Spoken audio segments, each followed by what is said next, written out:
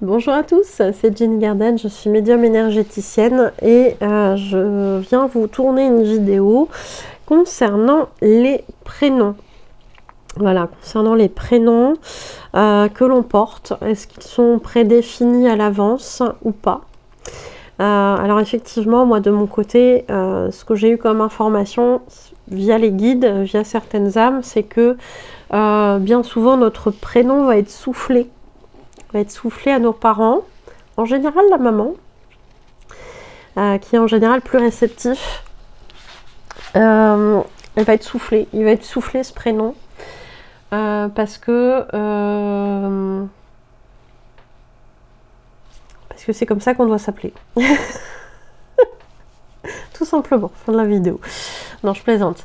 il va être soufflé ce prénom parce que bah Parce que c'est les parents qui les choisissent. Alors qu'ils les choisissent, euh, ils ont l'illusion en fait de choisir ce prénom. Mais en fait, c'est l'âme, l'âme qui les guide. Je vais m'appeler comme ça. Euh, et qui va transmettre le prénom, transmettre, transmettre, transmettre en télépathie, en via les rêves parfois ou autrement, peu importe. Euh, si la maman elle a demandé un signe, etc. Enfin voilà, le prénom va se, se montrer Là, on leur ouvre une porte hein, euh, carrément hein, pour nous montrer le prénom. Donc faites cette demande en conscience euh, pour votre bébé et puis euh, vous verrez bien ce qui se passe. Est-ce que le prénom est prédéfini longtemps à l'avance? Là, c'est pareil, j'ai eu un complément d'information via un message qui a été canalisé. Alors, pas dans le cadre des flammes jumelles, euh, mais autrement, voilà, parce que je peux communiquer aussi avec euh, bah, les âmes des défunts, hein, ça vous le savez via les contacts. Euh, mais on peut demander aussi le message d'une âme autre, hein, tout simplement. Et là, en l'occurrence, c'est un monsieur qui a déjà conscience en fait de ses futurs enfants, qui, voilà, c'est quelqu'un qui capte aussi hein, beaucoup d'informations. Et euh, les âmes de ses futurs enfants tournent autour de lui régulièrement et lui transmettent parfois des messages. Mais là, il y avait une idée sur le, sur le prénom. Euh, et en fait, euh, je ne vais pas vous lire le message parce que je n'ai pas demandé l'autorisation. Mais en fait, il y avait cette idée de prénom au sens où il y a un intérêt pour ce prénom en termes de de sonorité, tout simplement. Euh, mais il n'y a pas que ça qui est important pour le choix du prénom, en fait. Euh, dans ce message, ce futur enfant explique que euh, il y, a des choses qui sont prédéfinies, comme les épreuves, etc. Il y a des choses de sa vie qui sont déjà prédéfinies. Il y en a d'autres qui peuvent encore changer, alors qu'il est censé naître dans quelques années. Et en fait, euh, ça arrive que l'âme décide de, de, porter un prénom qui va pas forcément lui plaire dans la matérialité. Mais ce prénom, il a une importance. Il a une importance comme la date de naissance, comme l'heure de naissance, là où vous naissez, euh, et ça, les, personnes qui s'y connaissent un petit peu en astrologie pour vous confirmer que c'est des choses très importantes, qui voilà, euh, nous donnent beaucoup d'informations sur l'individu en question. Euh, mais je ne suis pas astrologue encore une fois et je ne saurais pas être plus précise que ça. Donc là, le prénom en l'occurrence qu'il avait évoqué n'est pas encore définitif, il est possible qu'il change.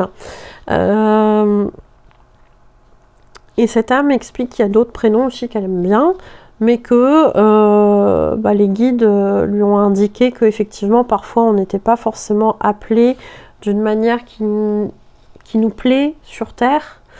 Euh, donc ça, ça arrive, hein, parce qu'en fait, la sonorité a un impact, la signification du prénom a un impact, et qu'on peut le porter sur Terre ou ailleurs, hein, dans d'autres incarnations. Euh, et en fait, le prénom a une vibration. Chaque prénom a une vibration. Et euh, bah, cette vibration, finalement, c'est ce qui va le compter le plus au niveau du, prénom.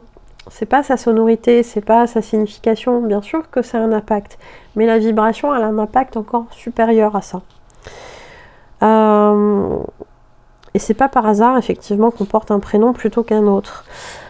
Le prénom qu'on va émettre euh, en, le disant, euh, je m'appelle un tel, va résonner d'une certaine façon, non seulement à l'intérieur de nous, mais par les gens aussi euh, qui vont le prononcer, ça va résonner aussi à l'intérieur d'eux. Quand on va l'entendre, ça va résonner à l'intérieur de nous aussi. Donc euh, qu'il soit prononcé par nous-mêmes, notre entourage ou des personnes qu'on va croiser à un moment donné de notre vie, plus ou moins proches, eh bien il y aura une vibration, il y aura un impact sur chacun des individus qui seront présents. Et c'est pas anodin. Euh, effectivement, il détermine souvent notre personnalité, comme la date de naissance, euh, ou comme la date de notre mort aussi. Hein. Il, y a, des choses comme ça qui sont prédéfinies. Euh, effectivement, tout est choisi pour que ça puisse nous aider à expérimenter tout ce qu'on va euh, avoir à expérimenter dans cette incarnation. Je rappelle qu'on a choisi quand même certaines choses d'autres vont nous être imposées par rapport à ce qu'on a choisi d'expérimenter, par exemple en termes de notions. Euh, alors je lis en même temps parce que du coup je voudrais pas euh, lire le, message en entier. Euh, donc c'est un impact, hein, c'est un impact sur l'évolution de notre âme aussi, puisque ça conditionne certaines expérimentations que l'on va faire. Il n'empêche que la famille dans laquelle on va évoluer sera notre terreau, notre base, et après, on va évoluer en fonction de ça. Hein. Donc, euh, et tout est choisi pour qu'on puisse vivre l'expérience qu'on a décidé de vivre de manière optimum. Et visiblement, le prénom est euh, validé en dernier en fait. Hein. Il y a des étapes qui sont déjà prédéfinies. Il y en a d'autres qui sont validées complètement. Mais il y a des choses qu'on peut changer aussi avant de s'incarner. Et puis il y en a d'autres qu'on ne pourra pas changer parce qu'elles sont nécessaires à notre expérience et à notre évolution en tant qu'âme.